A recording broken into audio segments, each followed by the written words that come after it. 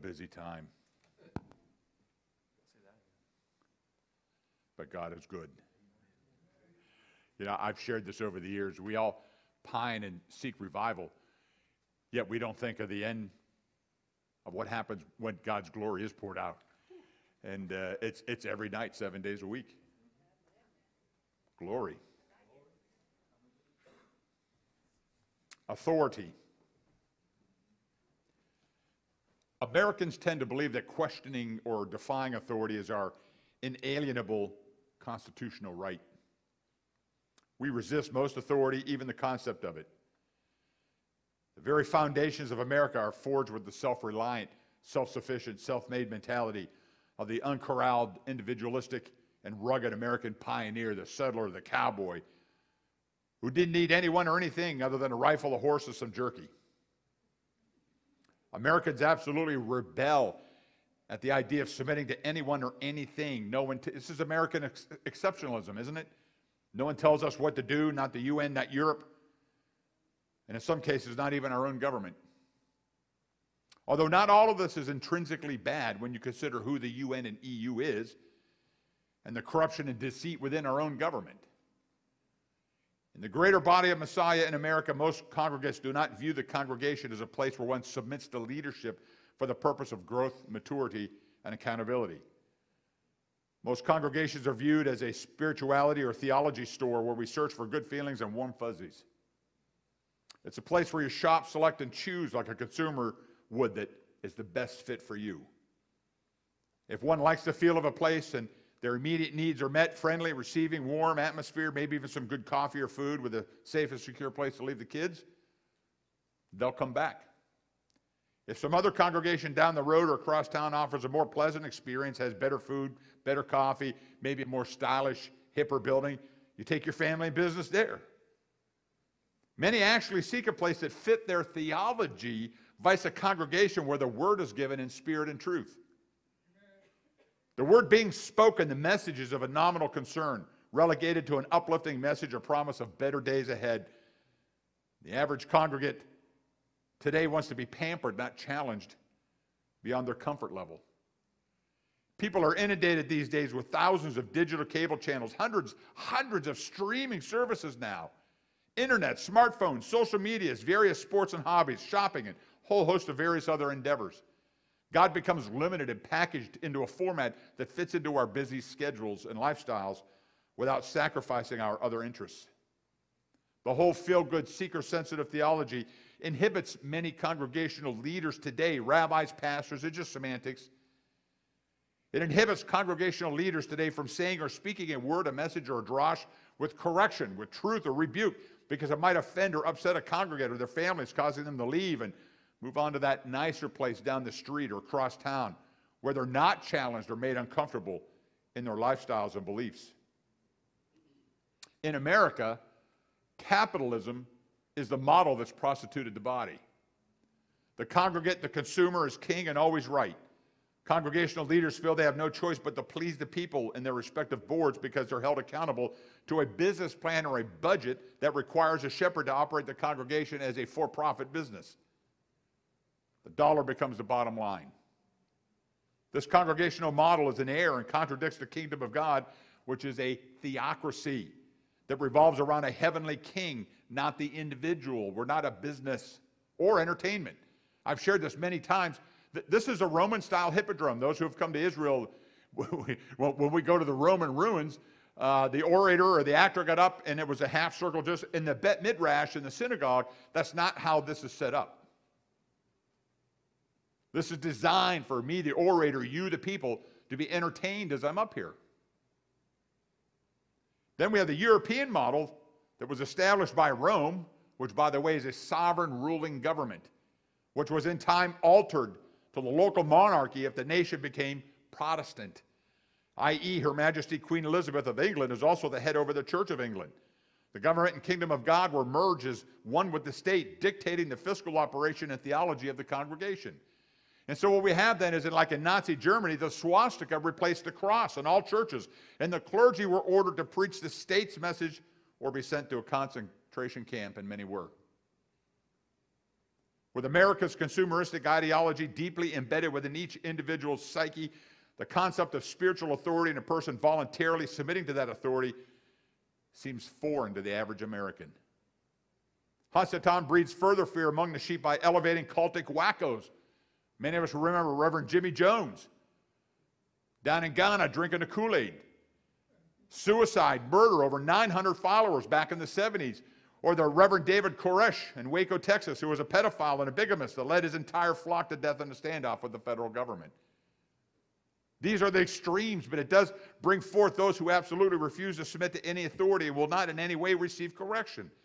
Another significant factor that deals into all this is the rebellion against authority that we're battling from the 60s, which revolted against all authority.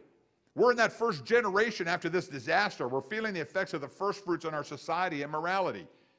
This confusion and divisiveness from the enemy leaves the congregate battered, bruised, and hurt, then bouncing from congregation to the next, or no congregation at all, with little to no relationship with God, who's the supreme authority and is contrary to Scripture. Hebrews 10, starting at verse 24, and let us keep paying attention to one another in order to spur each other on to love and good deeds. So, right off the bat, this is the beauty of a congregation because we're here to pay attention to one another. I, I shared this some months ago, but I'm going to share it again because we recently just uh, reconvened and, and sent, talked on our um, congregational list to make contact with everybody. Some people have moved, addresses have changed, numbers have changed. I'm glad we did this because now we're in hurricane season. You know, anything can happen. We want to be able to contact everybody. But we heard person after person after person. We actually had people call the office that they were your neighbors. And, you, and they found out that we were contacting you twice a week. Are you okay? Do you need prayer? Are there any, any products you need? If you need toilet paper, let us know. We've got things, we've got a shared pool of, of stuff. We're here to help each other. And we're getting feedback that many, many, many churches in the area, they're not contacted, they haven't talked to their congregation through the entire pandemic. Let alone ask if they have any needs or how they can help. And then ask, can I get on your list? Well, no. It's not that we don't love you, but you know, wherever you're connected to, go back to that place. Go make a change or come here and join. That list would have been 5,000 had we succumbed to that. But, but it revealed the hunger and the desire of people to come together, to be in a healthy congregation. And we're getting feedback that their pastors, they're, they're not speaking to the, the predicament, they're not relevant. They're not speaking about what we're dealing with at hand. So this is two sided authority, both at the congregational level from the leaders and from the congregate. So we let us keep paying attention to one another, to spur each other on to love and, and good deeds, actions. It's a result of our faith and trust in Yeshua. That's the end result of the gospel is to have action and go make what? Other disciples. Verse 25 says, not neglecting our own congregational meetings as some have made a practice of doing, but rather encouraging each other. And let us do this all the more as you see the day approaching. And it's approaching. First, we take care of each other. Mishpocha, to look out, protect, defend, and support one another, which are all aspects and benefits of submitting to and being part of a congregation. Second, we're told not to neglect the assembling, the congregating together. When the enemy gets you alone and out from under the protection and covering of congregational authority and structure, you're a solitary lamb in the field, susceptible to being picked off by the wolves. The power of the congregation is in the congregate. The power of the congregate is within the congregation. The good news is that with all that we have with today's technology, listen, with all the Facebook Live, the live stream, the IG, uh, Instagram, our radio media, you can be a congregate here from anywhere in the world. I'll be the first to admit, we, have traveled and we've watched, and it's not quite the same as sitting in here and having it live. However, it's revolutionizing congregational meetings and gatherings. We're here and available for the handicapped, shut ins, elderly, remote family who don't have a messianic congregation in their area yet. The old brick and mortar mega congregations may, just may be becoming a thing of the past. Though we'll always need a sanctuary, a platform, a foundation to host services and broadcast from, it's critical to connect to and submit to congregational authority because you can't move in and operate in kingdom authority if you can't submit to congregational authority. Let me say that again, that was a mouthful. It's critical that we connect and submit to a congregation because you can't move in and operate in kingdom authority if you cannot submit to congregational authority. This is a grave issue. And here's why the greater body is no longer a voice of authority in our nation. You know, 100 years ago, if you wanted to make a dynamic change in your nation, if you wanted to be a voice for the voiceless, you become a pastor, you become clergy. That's not how it is anymore. It's hard to believe just 60 years ago with the civil rights, who led that? Uh, pastors. The abolition movement into the North to end slavery, who, who led that? Uh, pastors. Who brought about our release from English rule and tyranny? The Black Robe Regiment, fiery pastors. Matter of fact, most of the Declaration of Independence was, were taken from sermons that were preached years before we issued that decree, documenting the tyranny and the unjustness of what the king was doing over us. But somehow something shifted. We're no longer that voice of authority or even in our nation or even around the world when we should be. God has established a biblical pattern of authority that he himself is the head of. In Psalms 82, verse 1, a psalm of Asaph, God presides over heaven's court. He pronounces judgment on the judgment, on the judges. So there, there's a heavenly court. God is king, he's the judge, and that's the ultimate authority. In the end, every one of us will stand in that court. Every one of us. Your spouse won't be there, your kids, your parents, your rabbi, you'll be there and have to give an account of your own life before the king. This is important because we work for a king who has delegated authority to you so that you may act on his behalf, his direct ambassador. This is how a congregational leader operates as a representative of the king. We're to encourage and rebuke an authority, as it says in Titus 2:15. These are the things you should say. Encourage and rebuke with full authority. Don't let anyone look down on you. Congregants are told to submit to congregational leadership in Hebrews 13, 17. Obey your leaders and submit to them, for they keep watch over your lives as people who have to render an account. So make it a task of joy for them, not one of groaning, for that is of no advantage to you or me. Amen. Reference to leadership in Scripture is plural. Why? And why am I even talking about this? Is, am I dealing with a specific issue in the congregation? Uh, no.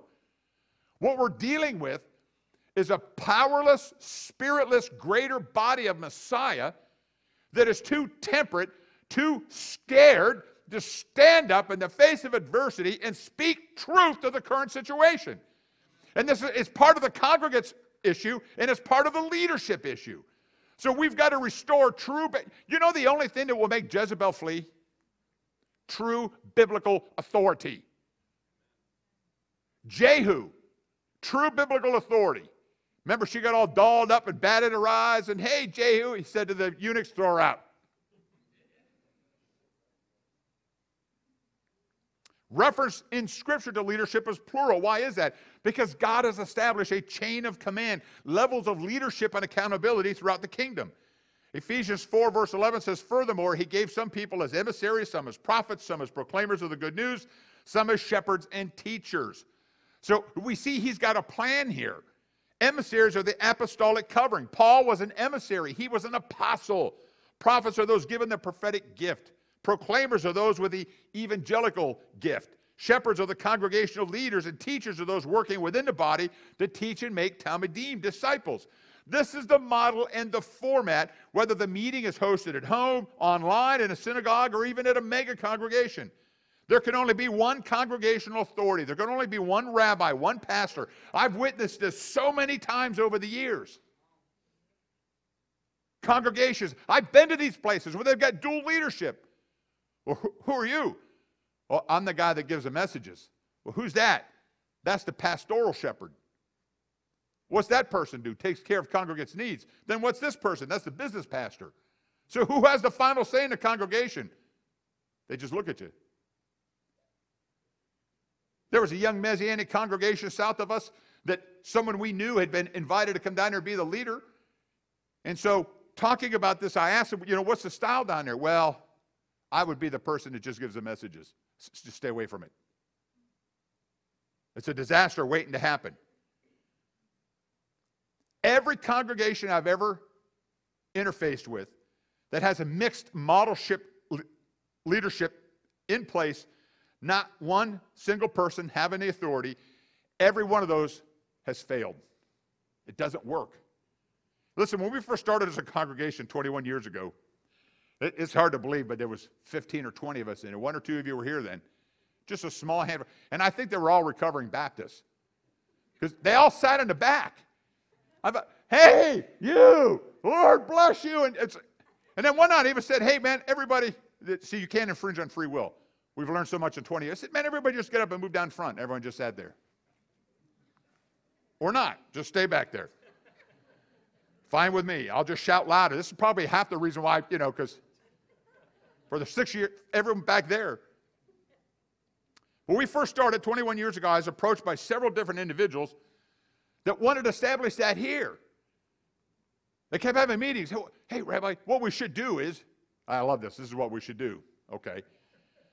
You do this now, then next week I'll do this, and then next week I'll this other person will do that. I'm like, mm, no. No. Yeah, no. See, because I had a radical road to Damascus encounter 22 years ago. And from that is this. And so the Lord did many things over the years I've done that the Lord didn't tell me to do. And, and we're learning to get rid of those things and to hone them out. The path from here to there is a straight line, but as human beings do, we tend to go back and forth over that path. But the Lord didn't tell me in these three days to have a multi leadership model. He didn't say to share this. He said, go do this, this, and this. And so now, as we've gone farther into this, even more am I more convicted to do just this. I've spent so many times with so many leaders over the years that have had so many visions, and they're grand visions, and I know for a fact they were from God. But they don't do what God told them to do. They want to go into committee. They want to form up study groups. They want to invest. No, just do what God told you to do. Well, if we did this or do that, no, don't do that. Please, for the love of God, don't do that. Do what God tells you to do. We've even experienced this in the not too distant past, just recently. A person joined here. They wanted to have congregational meetings in their home, call that person pastor, and invite congregants from here to go there. I'm like, no. No. Well, but we're just, no. And then, then I found out, you know, of course, the doctrines and theologies are contrary to the scripture, to the Messianic movement. It just, you know, it just keeps getting worse and worse. I could bore you with another 15 of these tales. It's probably more than that. But you, you start to get the principle here. When God does something and there's something of value, somebody else wants it. That's part of being a shepherd is the guide to protect and to keep the wolves out. You know, as soon as Moses is delivering us from Egypt, who pops out of this? His own sister and brother. His own sister and brother. See, it, it comes in all forms. He gets through that scenario. Who comes next? Korach. Korach, the next morning, now we got 250 leaders who were men of renown in Israel. When there's something of value, when God is moving, there's always someone in the wings seeking to destroy it. Nehemiah had his Sanballat and Tobias. I could keep going on and on. Paul had his Barnabas. You, you, you see, it's all throughout Scripture.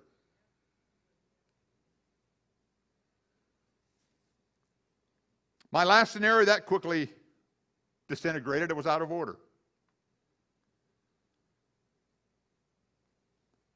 When the first Jerusalem council met to discuss how to deal with the Gentiles, this, this is it just seems so funny when we read this stuff.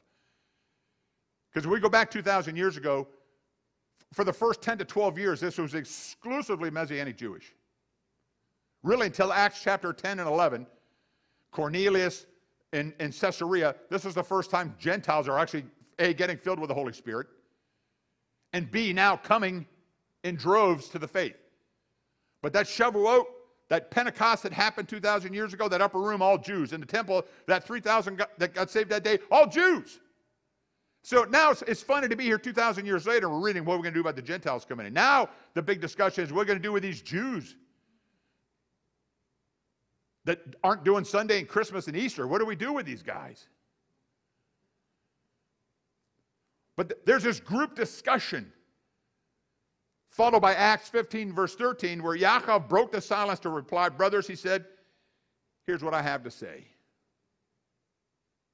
From there, we know he issued the letter, founding threshold or metric to bring the Gentiles in. Stop from these four things. That's not the only four things. He goes on to say, because the Torah of Moses is taught every week in synagogue. Yaakov, James, Yeshua's brother, was the leader. Listen, there was no council, no board, no assembly, no advisory group. There was no committee, no legislative body involved. We see one leader among the Talmudim 2,000 years ago. This is not to say that there isn't accountability or oversight. There is. That's the very reason why we're members of the IMCS and the MJA. We've got accountability board here. Every congregation must have a covering. Sid Roth told me 25 years ago, be wary of the person or the work that has no covering. It's a wolf. And we've had them here over the years. Hey, who are you? I'm, you know, blah, blah, blah. Who you with? Oh, God just sent me. Never worked out, not once. There was and is no democracy in the kingdom of God. The Talmudim of Yeshua didn't vote on the situations, they discussed the issues among themselves, and Yaakov made the decision what to do regarding the Gentiles coming into the congregation, how to proceed. See, Scripture doesn't allow us the opportunity to pick and choose a congregation that fits into your understanding or philosophy, your views on life or politics. There, there's not a, a pro abortion church or a pro life church. There's just the Word of God. There's not black churches or white churches. There's just the Word of God. There's not Jewish and Gentile. It's just the Word of God. The gospel doesn't conform to your box. We're to conform to the kingdom. If you're not at a place where you're being challenged to change and conform to God's word and kingdom with good, strong leadership, then you're in the wrong place. I'm singing to the choir here. This is for the media and how it's going out. In those places, many people are hurt at those places, which result in alleged offense, hurt, or spiritual bruising, which is the major reason for their future refusal to submit to any authority anywhere. The enemy knows exactly what he's doing. On the other hand, many don't commit because they refuse to conform to the kingdom and the word. Again, if I wrote a book regarding recording all this stuff, we've encountered experience within the body, few would believe it. I've learned not to let a new person who just comes here talk poorly about where they came from and their congregational leader. We were pretty naive when we started 21 years ago. I'd sit there and listen for an hour. Blah, blah, blah, blah. Then he did this, and he did that, blah, blah, blah, blah. And then I, I, you know, I quickly learned three years from now, that's me. Now they're at the next place. Oh, it's a stupid rabbi that just screams and hollers at it. It's been years since that happened. You know, I come from this place and he was no good. Just stop right now.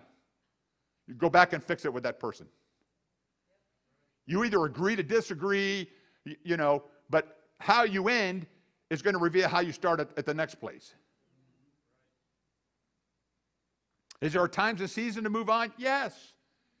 Is there a lot of places out there that are just a whitewashed facade? Yes. Denying the power, but looking religious? Yes, they're everywhere. So I'm not saying you should just unthinking compliance and just stay where you're at. But don't leave there in a huff, bruised, or hurt, because you, you'll bring it to the next place.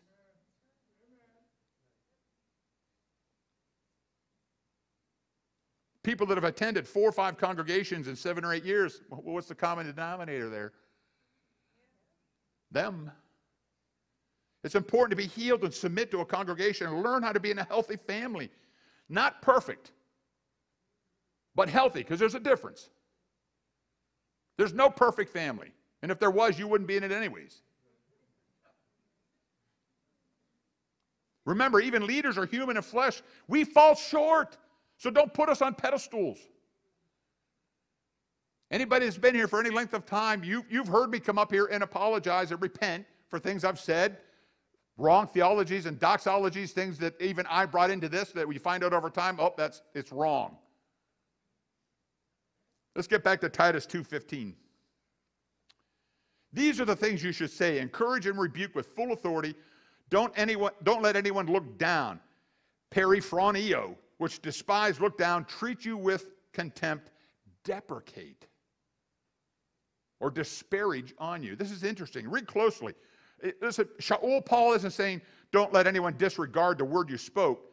Shaul carefully states, don't let anyone look down on you. Don't let them deprecate you. Don't let them disparage you. Don't let anyone despise you or treat you with contempt, to neglect you, mistreat you, or treat you with indifference. That advice is not written to just Titus, but to the entire Messianic community. Without a doubt, Shaul Paul's intention is clear that people are not to disregard, despise, look down, treat with contempt, deprecate, or treat with indifference Titus and his message.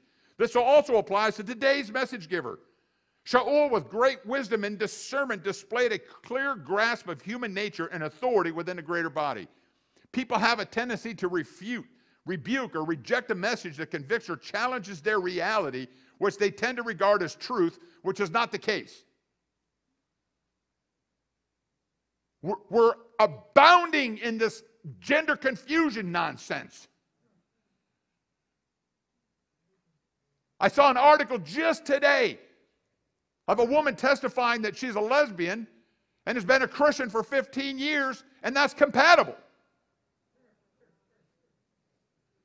Well, that must be in the book of Hezekiah.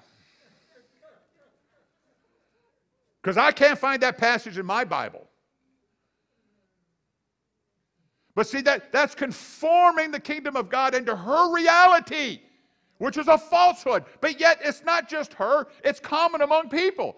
Matter of fact, people will go place to place to place to find that congregation that will fit their theology and belief system.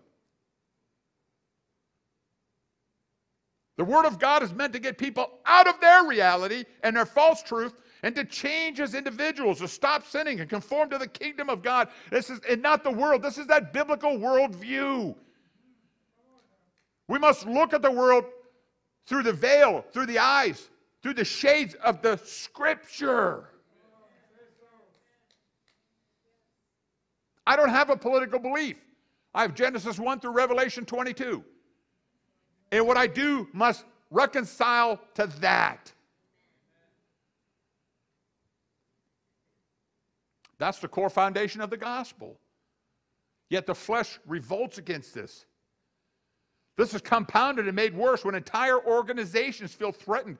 We'll take the same course of action. People don't have the chutzpah to reject the message if it's directly from Scripture. What they'll do instead is negate the intent of the message by disregarding or looking down upon the messenger who brought it, nullifying the message. If the messenger exhorts, reproves, or brings correction to an individual or the body from the word, those who seek to subvert the message will attack the message giver by saying, who, who, who does he think he is? Do you know that comes from Scripture? That was Moses' sister and brother. Who does he think he is? That's what Korach said to Moses and Aaron. Who do they think they are? God only speaks to them? I mean, this is right from Scripture.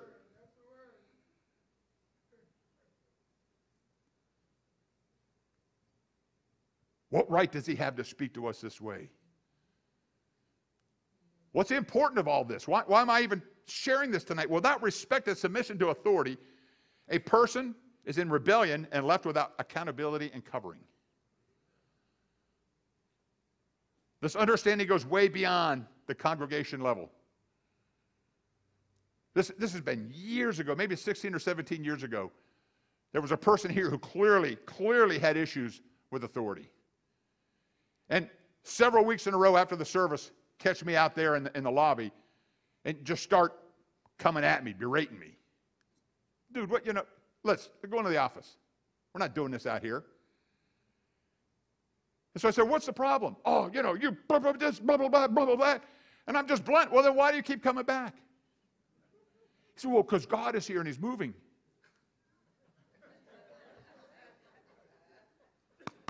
what? McFly, what? Hello? If I'm what He says I am, then how in the world could God be here and moving? There'd be no presence of God here. That's how you know when something's right, the presence departs. That was David. Oh God, do not let your presence depart from me. That's how we knew something was happening during the first diaspora, right? Because the presence of God departed from the temple. All the priests knew it. He's no longer here. This was the key for Isaiah. As long as the presence of God is here, y'all got nothing to worry about. Oh, look at all these armies. Isaiah'd be so cool. Yeah, what? Oh, what? Oh, yeah. God can take care of this. His presence is right here. It's when that presence departs, then there's grave danger. I'm going to say this again the kingdom is comprised of servant leaders. If you're unable to submit under authority, you'll never have kingdom authority working through you. It won't be given to you because you don't know how to submit. Listen, in Matthew 8, there's this Roman army officer, right, who pleads with Yeshua to heal his orderly who was paralyzed and doing really poorly. And Yeshua says, okay, let's go. And the officer says, whoa, whoa, whoa, whoa, whoa, whoa. I'm unfit to have you come to my house. You just say it, and he'll be healed. He said, because I too am a man under authority. I tell this one, go, he goes. I tell this one, come, and he comes. I tell them, do this, they do it. Yeshua, Yeshua was like, Phew. he's like, I've never seen such trust in all Israel like this man. Now, Yeshua didn't say authority, he said trust. I want you to catch this parallel. That submission to authority builds the trust in the person. Yeshua commanded it, his orderly was supernaturally healed. That, that's something that's lost on most people. The submission to authority, the understanding of it, is how you build trust within you. If you really understood who Yeshua is, you'll know that full authority is with you and can be in you, but only if you submit.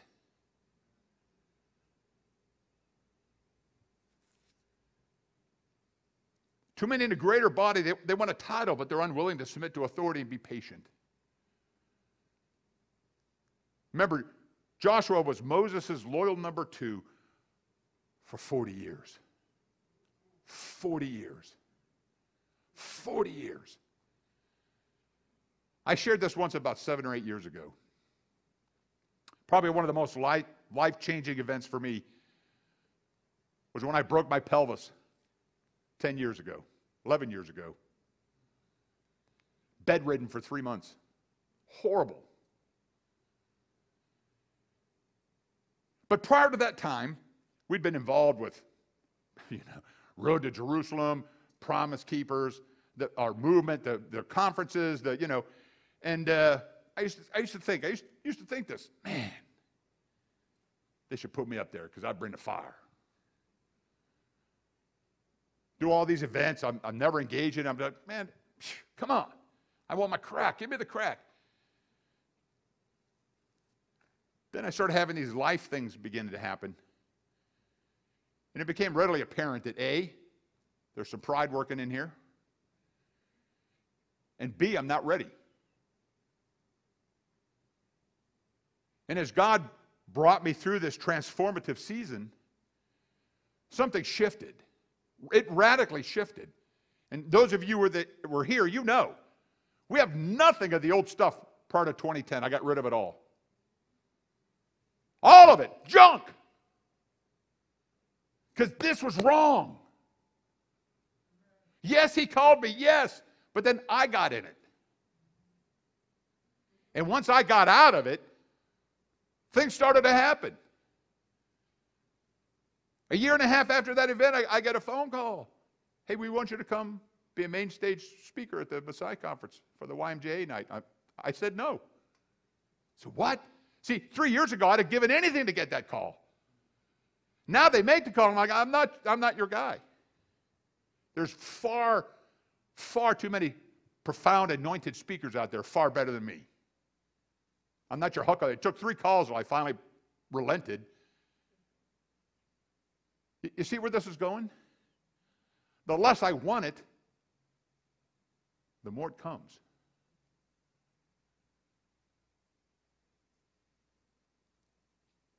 There must be humility in all that we do. As Yeshua shared in the wedding parable, Luke 14, starting in verse 8, he said, When you're invited by someone to a wedding feast, don't sit down at the best seat. Because if there's someone more important than you who's been invited, that person who invited both of you might come and say to you, Hey, give this man your place. then you'll be humiliated as you go back to take the least important place. Instead, when you're invited, go and sit at the least important place so that when that one who invited you comes, he'll say to you, Hey, come on up to a better seat. Then you'll be honored in front of everyone sitting with you. Because everyone who exalts himself will be humbled, but everyone who humbles himself will be exalted. I know it firsthand.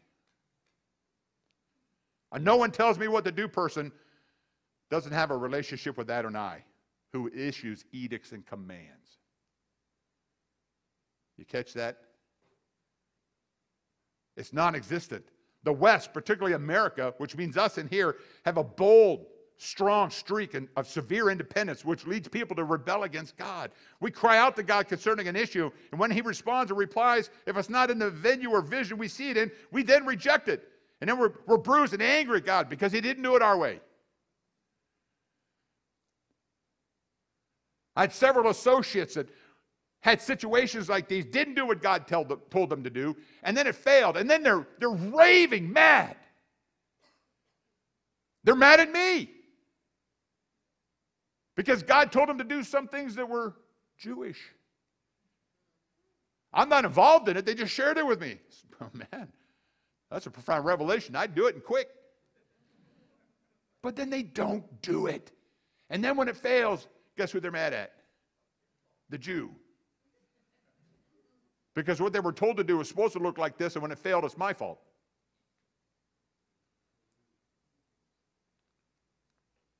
Then, of course, they're out of his will.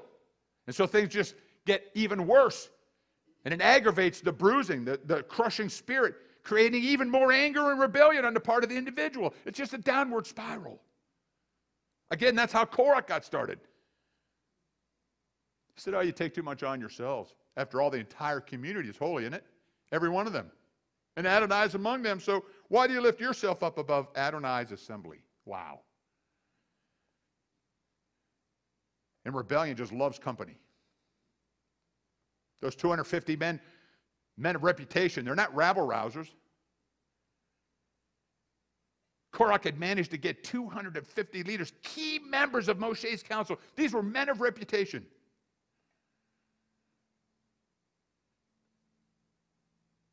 Be so careful regarding what you question. And your response, even your body language regarding how you receive something from authority. Just because you don't understand it, receive it, or agree with it, doesn't mean that it's not from God. You know, the divine mentor, we've been reading Ezekiel for the last several weeks. Boy, is that a weird chapter. The prophetic's weird. It's spirit and truth, but it's weird because it's out our, outside our confines of understanding. Lay in your side for this long, represented this amount of judgment. Cook your food over human dung fire. Whoa, whoa, wait, what? Make Ezekiel bread.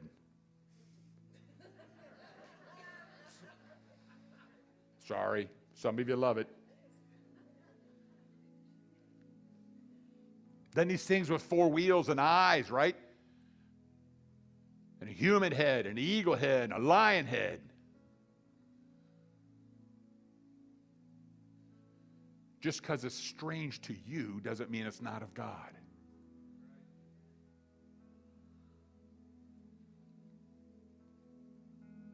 Even those who absolutely refuse to submit and have been counseled according to Matthew 18 Paul said in 1 Corinthians 5, verses 12 through 13, For what business is it of mine to judge the outsiders? Isn't it those who are part of the community that you should be judging? God will judge those on the outside. Expel the evildoer from among yourselves. I can tell you it's one of the hardest calls to make in leadership. We, have done it here only a handful of times, but we've, we've done it. Because you know this is where that person needs to be. God can heal, restore, and set them free. But if they can't do it without destroying 20 of you, they're not going to do it here. Because if it's not done, that rebellion spreads like cancer. If they overcame their own pride or repent, they're welcome back. If not, Go to that fancy coffee place down the road. This brings me all the way back to where I started. This whole scenario prevents most clergy today, rabbis, pastors, and semantics leadership, who are attempting to grow their kahillas or their congregations from saying or speaking a word, a statement, or a message of correction or rebuke that just might offend or upset a congregate or their children. A couple things I've read this week, stunning. Another recent study interviewed 3,100 Americans ages 18 to 55 just last year, reveals an even more critical, severe drop in a biblical worldview. It went from 32% in 2010 to 16% in 2020. In 10 years, those who have a biblical worldview are cut in half. Now, we're start, not starting with 80 or 90%. We're starting with only 32% to begin with, and now that's down to 16%. An even newer study I just read this morning states that only 6% of believers today believe the Holy Spirit is real.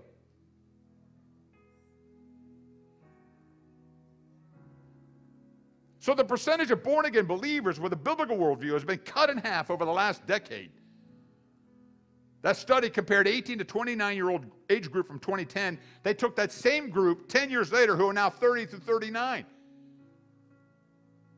The result is a startling degradation in worldview beliefs of born again believers over just 10 years.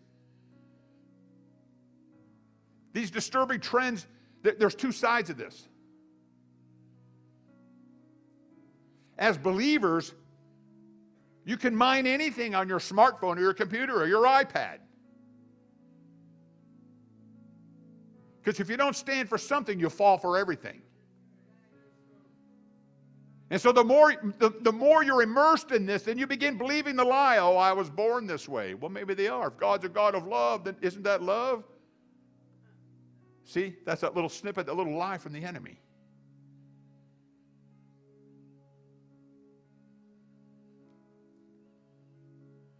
The other half of this disturbing trend is due to clergy not consistently teaching biblical truth in spirit and in truth. So half the onus is on the people, half the onus is right here.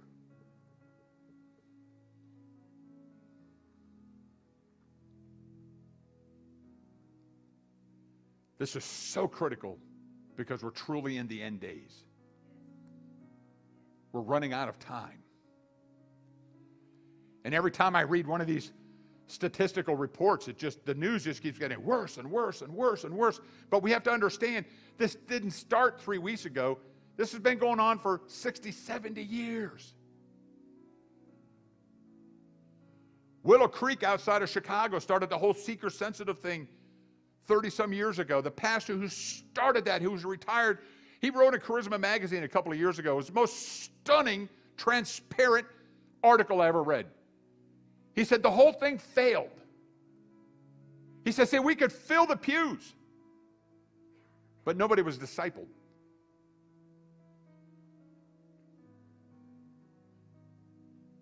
See, the, the gospel doesn't tell us to fill every seat. The gospel commands that we make Talmidim. And those two philosophies are diametrically opposed.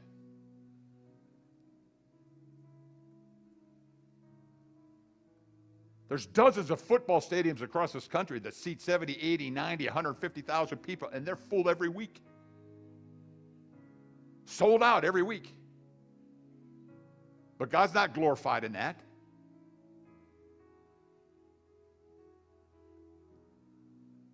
God's glorified by the fruit that you bear. God's glorified by your submission to His authority. God's glorified by your coming to know Yeshua, by your being filled with the Holy Spirit, by your sharing that and replicating yourself. with it. sheep make sheep. I said it the other night. Sheep make sheep.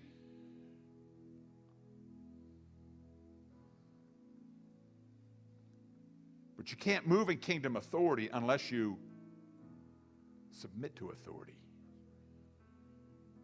You can't give what you don't have.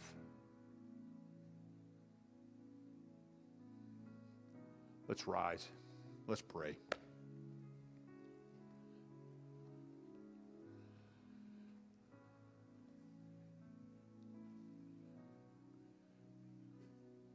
We, Rabitz and myself, the staff, we thank you for your loyalty.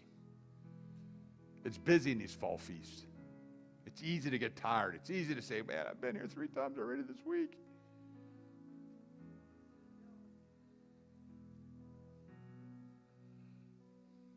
God honors the sacrifice. The fire always falls on the sacrifice.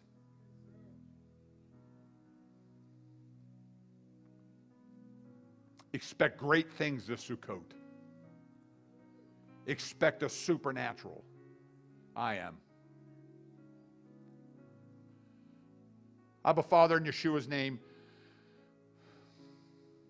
I thank you for your word to us this evening. I believe you're raising up sound, strong congregations in these end days that know how to divide the truth, that are spirit filled, that will stand in the face of adversity and speak truth no matter the consequences. We live in a woke culture, a cancel culture, that if what we say is contrary to what someone else thinks, we're shamed into silence. Father, forgive us for that. Forgive us for succumbing to this cancel culture. It's, it's global, Father, not just here. We will not be silent. We will not rest until Jerusalem is restored, until all Israel is saved, until we hear Baruch haba b'shem Adonai, until we come together as Jew and Gentile to bring the state of national tranquility, Shalom Irene. We will not be silent. We will stand up for the voiceless. We will stand up for racism and hatred and anti Semitism. We will not be silent. We will speak out against immoral behavior that doesn't reconcile to your word. Oh God, we will not be silent. We will not pander to sin. We will not be intimidated by the sinful of this land. If you be for us, who can be against us, oh God? Father, I'm praying for boldness this evening for an infilling of your Holy Spirit and everybody here, everybody that's watching and listening to this, Father God. We're praying for a shift in the culture. We're praying for a shift in the body of Messiah. I'm praying, Abba Father, that you would raise up godly leadership that would throw Jezebel out the window. And they will not be prideful. We'll be humble before you, but are warriors who will not be silent. Oh God, raise up an army. Prepare us, oh God, for the time and season to come. And truly make us echad, make us one. In Yeshua's mighty name. Amen and amen. I'm going to ask Joshua tonight to just release the Aaronic benediction over us. We've done more repenting in the last month than we have in the last two years. Monday at sunset is Zman Simchateinu, the season of our rejoicing. So we're, we're going to shift now. We've made it through the fast. You lived. You made it. Some were grumpy, Paul Doran, but we made it. And had God encounters at the mikvah. So beautiful to see everyone dressed in white. But your names remain. Now we're going to the wedding feast. It's time. Shabbat Shalom.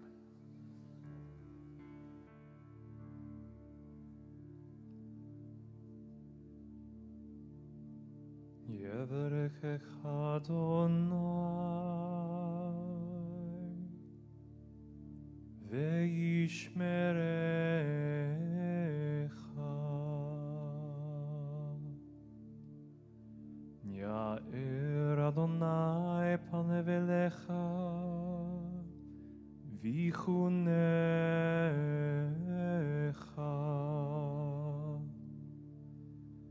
Praise Adonai panevelecha lecha shalom. The Lord bless you and keep you. The Lord shine his face toward you and be gracious unto you. The Lord lift up his face toward you give you peace.